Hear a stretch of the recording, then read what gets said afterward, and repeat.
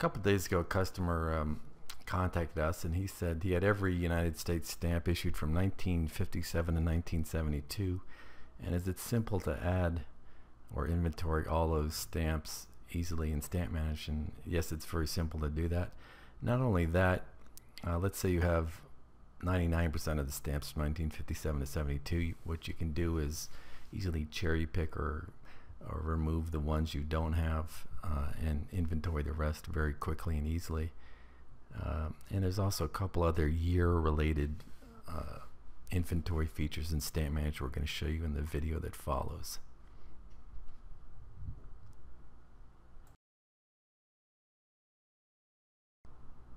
The first scenario we're going to show is let's say you own all United States stamps from 1957 to 1972 across categories. For example, you have all the airmail postage due stamps from that period as well. Um, what you're going to do is click on the Add Stamp button there and select just the United States. You're not going to expand this. Just click on the United States and you can see here it's showing all United States stamps in the program. Now, right now it's sorted by Scott number. We're going to change that to date issued. Now we're going to find 1957.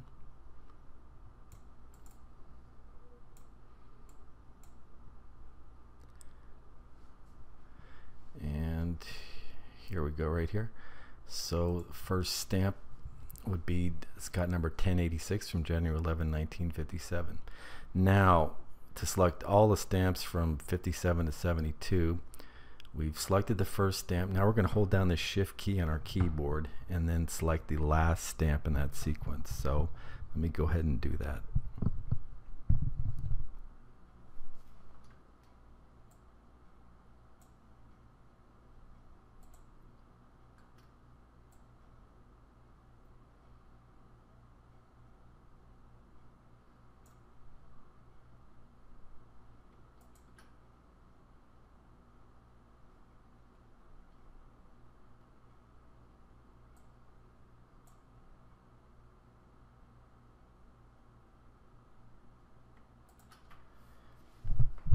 Okay, so now we've selected all stamps across categories from 57 to 72.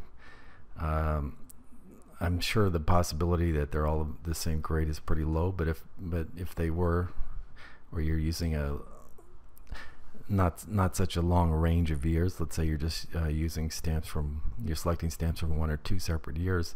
Let's say they're all in one condition. You're just going to select that condition, and all the stamps will be uh, assign that condition as well as the value for that condition if present. So now we're not going to do that in this case. So all you got to do is click OK. It's going to add all stamps from that period. And as you can see here, there's they're nicely separated into categories. So you see all the air, airmail stamps, hunting permit, general issue, etc.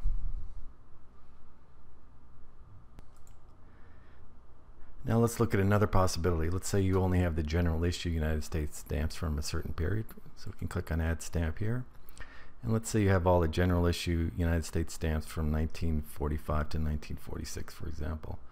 Uh, what we can do here is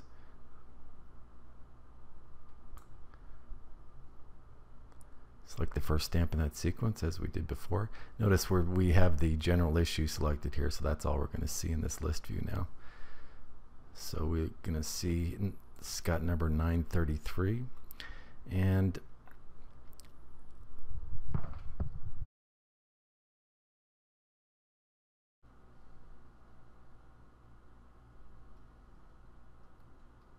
Once again, we hold down the shift key, select the last stamp in that sequence, and click OK. And it's going to do the same thing. It's going to add all the stamps from that sequence from that period of years. Now, let's let's be realistic. In most cases, in many cases, uh, you'll have stamps from, for example, 1946 to 1950, but you're gonna be missing a couple of varieties. So here's what you can do. Let's say you have all the stamps from 1946 to 1950 general issue in the United States, but you're missing a couple. What you can do is this. Click on that stamp dialog again. Go back and select 1946 then we'll do the same up until the end of 1950. Once again, holding down the shift key, that selects the entire range from the start to the, to the last stamp selected.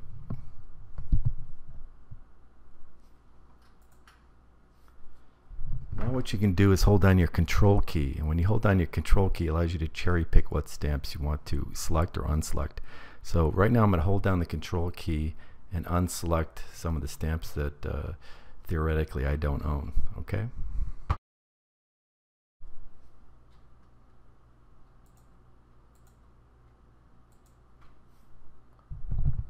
And let's say they're all in uh, mint very fine condition, the ones I do have. You just click there and it's going to add all those that have been selected as I showed.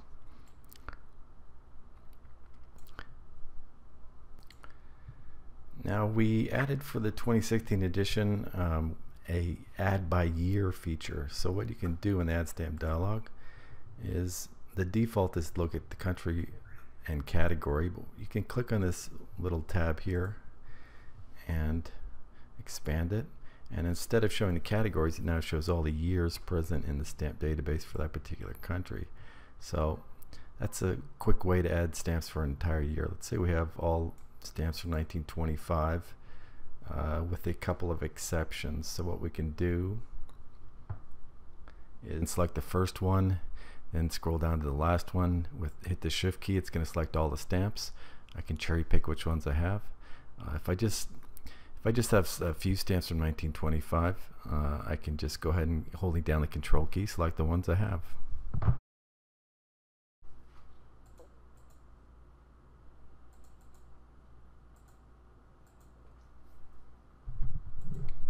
Hit OK and they all get entered into the your stamp inventory. And now we have yet a third way of entering stamps by year. And the way to do that is you click on the stamp manage catalog uh, button there in the main window. And you can see here we have uh, the stamp manage database separ separated by many different groupings.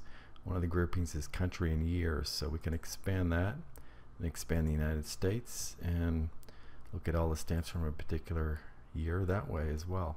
And if we have a stamp all you need to do is right mouse click and say quick add to current collection.